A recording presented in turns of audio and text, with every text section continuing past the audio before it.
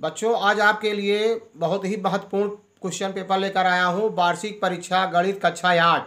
परीक्षा देने से पहले एक बार ज़रूर हल करके जाना। महत्वपूर्ण प्रश्नों को मैं आपको इंडिकेट कर दे रहा हूँ, हल कर दे रहा हूँ। प्रश्न नंबर एक है किन्हीं पाँच प्रश्नों को हल कीजिए। दो बजा पाँच, ऋण ब्रेकट के अंदर है, ऋण पाँच बचा तीन को हल कीजिए। ब्रेकट तोड़ देंगे तो धन पाँच हो जाएगा। पाँच दुई सात बचे तीन हो जाएगा, क्योंकि हर बराबर है तो जुड़ जाएगा।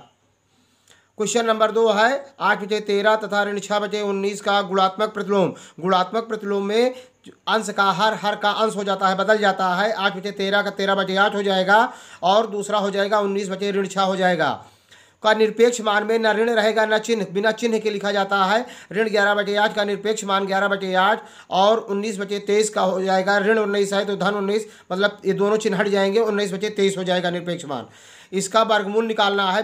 मित्र, पहले से ही वीडियो डाला गया है। आप ये ना देखना कि कहाँ कहाँ है। कक्षा आठ का विधिवत वर्गमूल डाला गया है। चैनल में जा करके ज़रूर देखना श्री गणेश अकेडमी चैनल में। और दूसरे का घन ज्ञात करना है, इसको भी डाला गया है, इसका भी घन मूल निकालना है। बिल्कुल सभी प्रश्न डाले गए हैं, जाकर देख लेना। किन्हीं पाँच खंडों को हल कीजिए इसका एक बीज गणित का सूत्र डाला गया है, उसी से देखकर निकाल लेंगे आ जाएगा। सरल कीजिए, चार से भाग देंगे, चार अठ बत्तीस हो जाएगा।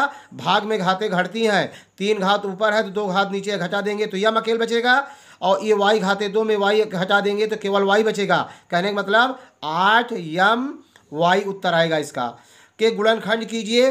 चैनल में देख लेना, दोनों बताया गया है। अच्छी तरह से इसमें है, लुप्त अंकों को ज्ञात कीजिए। आठ, पाँच, तेरह। तेरह में कितना जोड़े? सोलह हो जाए। तीन जोड़ेंगे, सोलह हो जाएगा। तो यहाँ तीन भर देना। और यहाँ आठ दो और नौ, ग्यारह। और ग्यारह एक हासिल आया है। बारह बारह के बाद अठारह आना है तो कितना जोड़ना होगा? छः यहाँ छः जोड़ा जाएगा, यहाँ तीन भरा जाता मतलब तिरसठ है छः और तीन, लुप्त संख्या आपकी।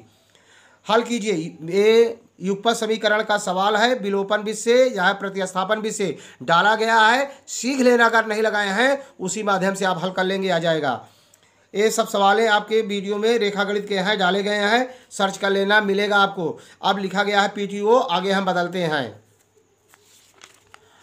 दूसरा है रेखा गणित का प्रश्न है समलंब का है इस तरह से आप सब देख लेंगे, उस वृत्ताकार क्षेत्र का क्षेत्रफल बहुत ही कुछ इंपॉर्टेंट है। इसके वीडियो डाला गया है, दस का वहाँ लिखा गया है कि कक्षा दस, आप दस की चिंता मत करना, नियम देखना, नियम से सीख लेंगे, प्रश्न आप हल कर लेंगे। इसी तरह से लंबृति बेलन का है और इस अंतिम क्वेश्चन सत्य और असत्य का है, हम बता दे रहे हैं। जल्दी से देख लीजिए, किसी ऋणात्मक परमेय संख्या का योगात्मक प्रतिलोम एक धनात्मक परमेय संख्या होता है। योगात्मक प्रतिलोम कह रहा है तो धनात्मक हो जाता है, चिन्ह बदल जाता है, सत्य है। एक ही रेखा पर लंब रेखाएँ परस्पर समांतर होती हैं, सत्य है। चतुर्भुज के चारों कोणों का योगफल 360 बहुत इंपॉर्टेंट सही है। वर्ग की चारों भुजाएँ समान नहीं होती हैं गलत असत्य है, होती हैं और प्रत्येक कोण नब्बे अंश का भी होता है। तीन परमेय संख्याओं का योगफल, परमेय संख्या नहीं होता है गलत, चाहे जितनी परमेय संख्या हो, जोड़ा जाए, उनका योगफल परमेय ही होता है। एक असत्य है लिखा गया है। सम संख्या का वर्ग भी एक सम संख्या होता है, सत्य। वृत्त का क्षेत्रफल पाई आर स्क्वायर होता है, बहुत, ये भी सही है। बारह बारह, तेरह, बारह, दस का बहुलक बारह है सत्य। जिस जो जो संख्या सबसे ज़्यादा बार होता है, वही उसका वो बहुलक होता है। इसका भी वीडियो मैंने डाला है। त्रिभुज के तीनों कोणों का योगफल 160 होता है, गलत। त्रिभुज के तीनों अंता कोणों का योगफल 180 अंश होता है। धन आठ और ऋण आठ के घनमूल में आठ बड़ा है सत्य। इस तरह से अगर वीडियो मित्र आपको पसंद आया हो तो लाइक करना, सब्सक्राइब करना। जय हिंद, जय भारत।